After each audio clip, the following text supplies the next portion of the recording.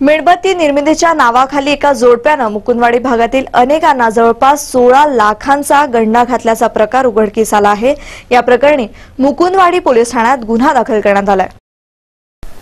सारा वैभव हर्सुल या ठिकाणी काही महिन्यांपूर्वी प्रकाश बनसोडे व नेहा बनसोडे या दाम्पत्यानं भाड्यानं घर घेतलं होतं व कबीर इन्फोटेक या नावानं त्यांनी कंपनी स्थापन केली होती. कच्चा माल द्या व मेणबत्ती तयार करून घ्या. मोफत नफा मिळवा अशी अमिष दाखवत जाहिरातबाजी केली. या जाहिरातबाजीला अनेक जण बळी पडलेत. कच्च्या मालासाठी प्रति किलो दोनशे दहा रुपये प्रमाणे कंपनीकडे सुरक्षा ठेवही जमा करावी लागली.